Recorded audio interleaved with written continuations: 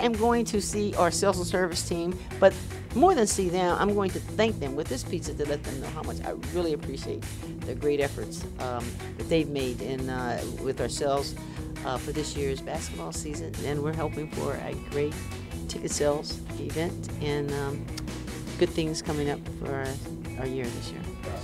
Hey, Teresa, this is Vivian Stringer, coach at Rutgers University. How are you?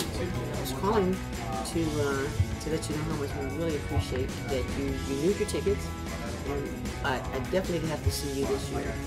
I, I want to thank you so much for the tremendous support that you've given to our women's basketball program. But thanks and go RU.